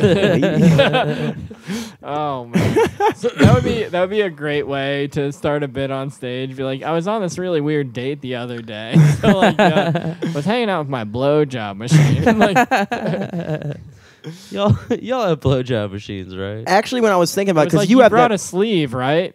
Well, oh, uh, come on, man. Do I, do I have to wear a sleeve? Don't you hate it when you and your dad get the sleeves mixed up in the blowjob machine? you have a bit where it's like something your new dating website, fleshlight.com. Uh, yeah. I thought uh, you actually did have one, so I was like, oh, Eric's got one, so whatever. No, I don't. I'm so comfortable right now. So, uh, Fuck, dude. I thought. you ever accidentally order something on your dad's fleshlight account? You have the talk with your dad, but it's about flashlights. The do you- birds and the blowjob machines, dude. The fucking classic talk. Classic dad chat. Damn. Now, if you hit a bunch of bees in a blowjob machine and gave that to somebody as a gift, I can get on board with that. yeah, as long as you make it funny, dude. I still haven't told my brother. I think I'm gonna tell my brother. He's gonna hear this probably. Yeah, I'm gonna tell. I, I mean, it's like it's just whatever, dude. Yeah, whatever. I think uh, Jimmy's brother. I don't know who you are. I don't think there's much of a stigma on this shit blowjob is hilarious. Because I- I, don't think most people know they exist. I think most people listening to this as as dudes because they're not in a room As with other people. dudes, here we go. As dudes, real, man. I feel like most people listening As to a this dude, I am ready. in Here we their go. private life would be like that kind of sounds that sounds cool, I guess. A- a- Yeah. Like not cool to buy, but like, it's a nice feel idea. Like most dudes would be like, I mean, I'd try it once, but also I'm not spending 150 dollars. Right. Yeah. yeah. But then that's that's the thing, all right? Like if it's like you get drunk enough and you try something weird once, but also if you're not going to spend the money on it, that means you're going to be getting it from somebody else and it's just like, ugh. I that's a road I cannot go down. yeah, that's another thing. I looked up the return Also, policy on it. uh, they don't have one. Yeah, they don't have dude, one. they're The, not the gonna machine take you just showed me, returns. not enough drinks in the world, man. That's, that's the thing is like I There's this no way. Yeah. the legitimate logical pathway I had, and this For the is record, I'd be terrified if a sex doll showed up in my apartment. I'm scared of ventriloquist dolls. There's no way I'd be okay with like a fully life size, like animatronic, like almost real, almost realistic looking person. Yeah, I was feel like trying to be- a serial killer was trying to send me a message. Like, I was trying to be this is what I'm gonna do to pragmatic. I was thinking like, But okay, the face is missing. it's one, it's still do it. it's 150 bucks, but how much money have I spent in the past trying to get a blowjob? Not like in terms of like buying a hooker, Oh. but like I'd just take another beer. Tindering people, fucking fucking messaging people and trying to hook up with people, and it's like, dude. If I had a machine that could just bypass all that, so I couldn't, I could just spend more time doing the shit I feel like doing. I thought it was a honestly good investment. cool. I really did. There's so much beer on that carpet already. Don't worry Yeah, about you're good, it. dude. yeah. You're good. You just assumed. I mean, there is, but come Uh, on. after, after the story I just heard, I'm assuming beer is not the, The, worst thing least of the worries on this carpet, dude.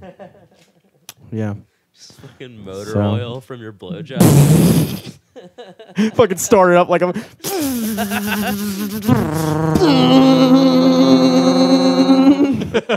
Neighbors like, old Jim's at it again. that kerosene heater sounds like it's going bad, Jim. old Jim at it again. Setting up a generator. In a Must be storm super hot just in to there. charge. a generator. Oh no. This this has been such a like it's just this conversation took a sharp left turn. yeah. for like for like the like the first half was I was like wow it's like weird. We're getting into like philosophy stuff and that like that. It's like so I bought a blowjob machine. Like what? Okay now we're talking about this. That's I I don't know I will say we didn't cover that in seminary uh, at least I didn't take the class. They didn't have pocket pussies in seminary. not not that I ever knew about Any of those like the uh, vending machine vending machine. yeah, back in my day, blowjob machines were as big as a room. you needed five men to operate it.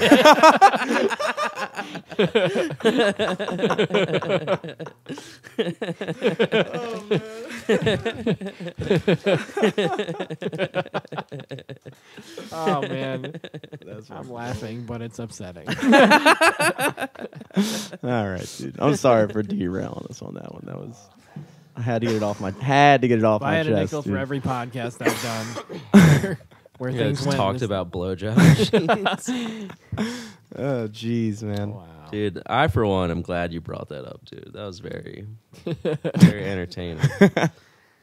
Thanks, dude. I feel like I feel like somebody's got to do it, dude. Somebody's got to fucking. Somebody had to buy the blowjob. Somebody has to do it, dude. It's got to be me. You're a pioneer. Yes, it's got to be me. You're a I was pioneer waiting in your around for field. somebody to tell a story. Nobody had one, dude. That's the you thing know what? your- Episode 127. your boy, your boy did You're it. gonna- Gang buys a blowjob. that would be a oh, good. Sonny's getting weird. Yeah, please give the episode the most embarrassing title possible so that when I put it up on my website, I'll feel okay about sending the link to my parents. Damn, dude. Well, I mean, shit, dude. Where I do we go from here? I don't know. Like, Yeah, I don't know. I uh, where does the conversation go so, now? I went to New York. I'll just tell. I'll tell a quick story. You're sitting on this New York story. Perfect opportunity for it. Go ahead, man. It's cool. So, They got these things in New York called blowjob machine rooms. You can buy them on the street for really cheap. yeah, you It's can still buy mango Juul pods and then blowjob machine. No, uh, no, I went to this cool, like, uh, weird, like, speakeasy, like, hidden bar. Uh, so you had to like go into a hot dog restaurant, and it's just like a hot dog restaurant. They like sell tater tots and hot dogs and fucking all that bullshit. But in the corner, kind of hidden in the corner, there's this like Can I just payphone. can I just interject? Does it feel weird to be telling a normal story now? Dude, this is way less than normal. Listen to this. So you go into this hot dog place. There's this hidden payphone in the corner. Go into the payphone, pick up the phone, press one, and then the back of the payphone pops open into like a secret hidden room. okay. And then a hostess is like, "Hey, how many people?" And then uh, you go in, and it's like a little little speakeasy Nice. little hidden bar. And then just the look on people's faces when you walk through a wall is very satisfying. just feel like a cool person. Is person. that a ghost? And then when you emerge from the wall 15 minutes later with your very own blowjob machine. Real quick piggyback on the speakeasy. I went to one in Baltimore. Um, I forgot what it was called. Uh, It's across from Tagliata's, which is in Fells Point.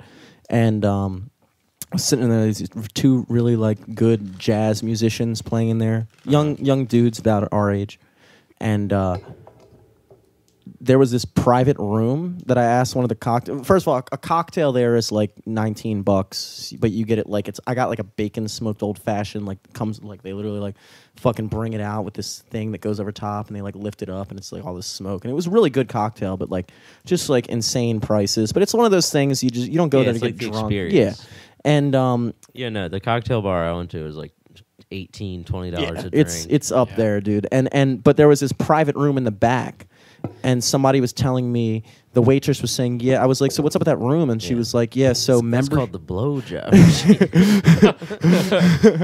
we haven't got a Legend new one. tells. She From said, the 1960s. she Nobody's said, turned it on in 50 years.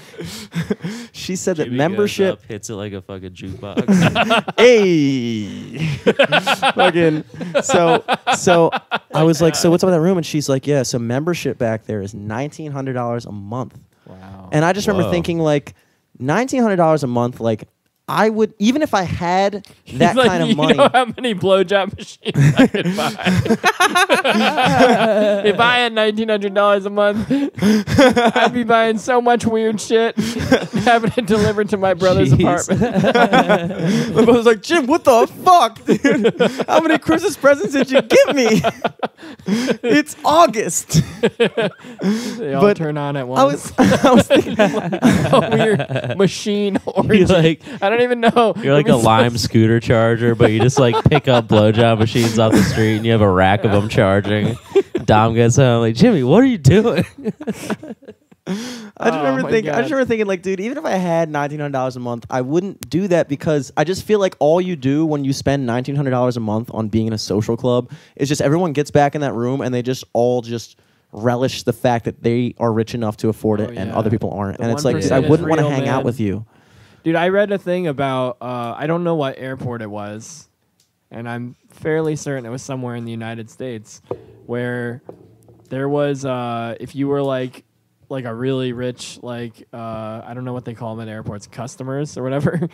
Yeah, yeah. sure, flyers. Okay, yeah. There was like a lounge for that for people like you'd have to pay so much money to get into, and then there was like this like uh, viewing thing. I guess it was like displayed on a screen where you got to watch all the people like you know toughing it out in a regular airport, and you could and they would like laugh at them and Jesus stuff. And I'm like, Christ. And I'm like, when do you know? When do we start eating rich people? That'd be great. like, like that's gotta happen soon, man. Jesus Christ, I hate I hate I, billionaires. I do I, I, I one one bougie thing that I do intend on doing when I have money. I probably will fly first class just for the leg room and like just to have. Yeah, because the- at this yeah. point it's just like a regular human-sized seat. yeah, Yeah. Like I can't, dude. Flying coach. Like I'm six two. and like the thing I, I when I drive in my car, I lean my shit back all the way, and like. Dude, the fucking air sitting on a fucking airplane in coach is like the worst, dude. I cannot stand that. Yeah. But first class, like I look at coach. Am I tickets, right? I'm And like, what's "Oh." the deal with the peanuts? I mean, I mean, it's crazy. I tried. I tried so many airplane jokes about Spirit Airlines because I just hate them so much, but yeah, none of them made the cut. Damn, dude. Yeah, dude. The, their loyal customer base always got at you. You know, they They're always lo- heckle you during the Yeah, set. yeah. Their version of a loyal customer base is just a credit card. It's like they always do the pitch when you're like right about to land, like, and who wants a credit card? Like, why? I would be so sad if I saw anybody sign up for it.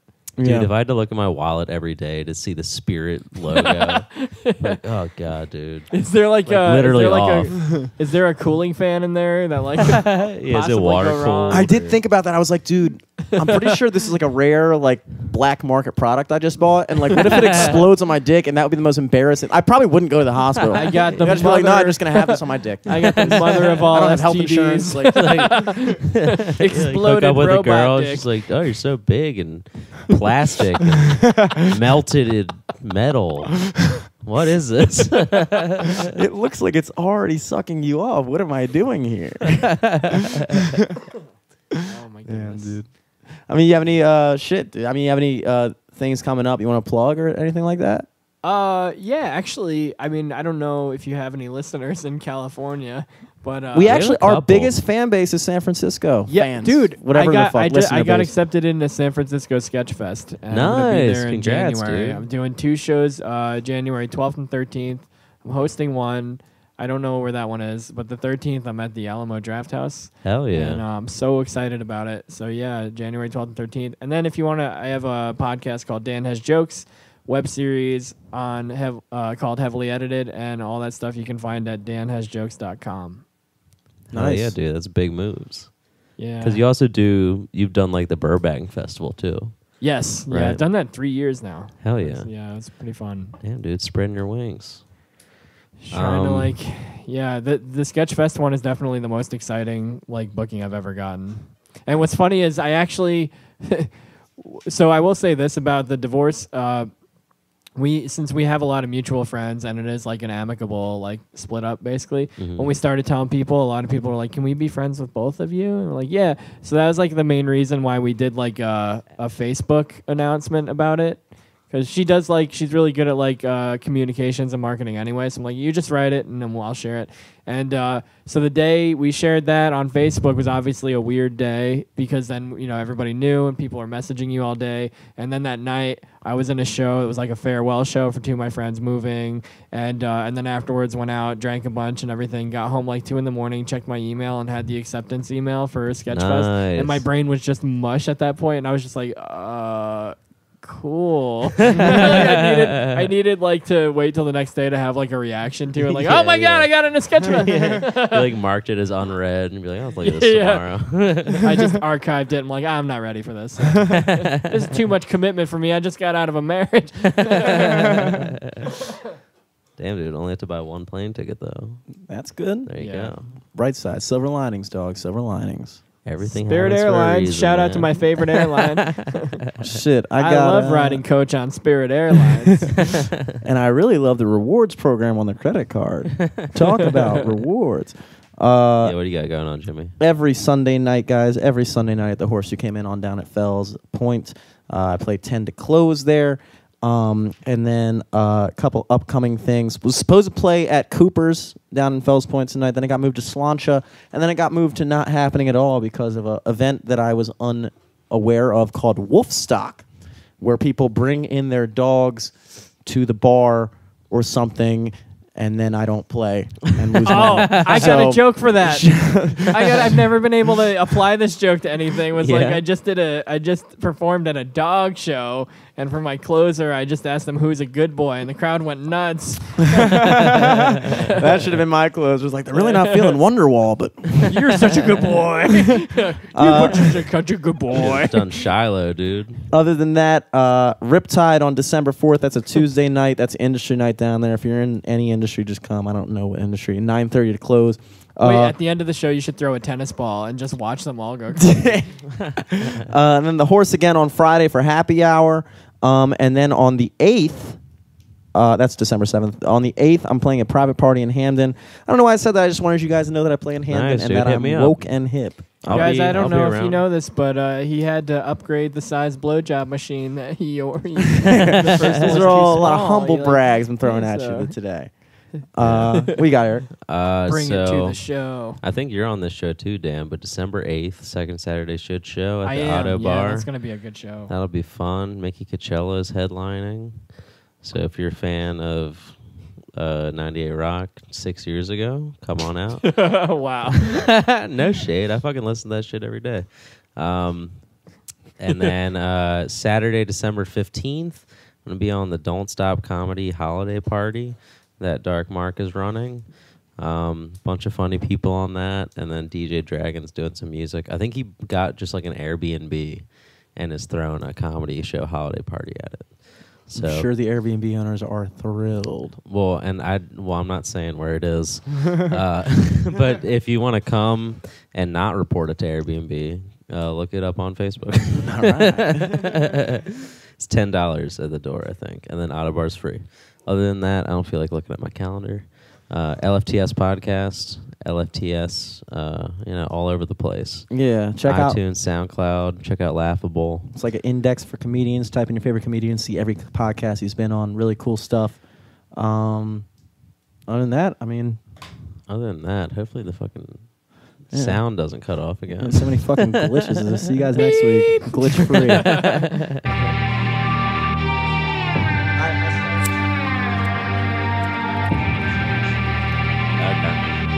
Okay, cool.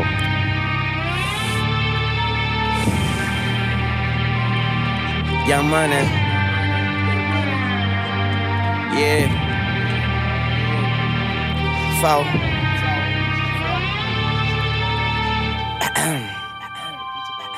I tell her, knock down, pop that pussy for a real nigga. I already know that life is deep, but I still dig her. Niggas is jealous, but really I could care less. I'm in Hell's Kitchen with an apron and a hairnet. Devil on my shoulders, the Lord is my witness. So on my Libra scale, I'm weighing sins and forgiveness. What goes around comes around like a hula hoop. Karma is a bitch, but just make sure that bitch is beautiful.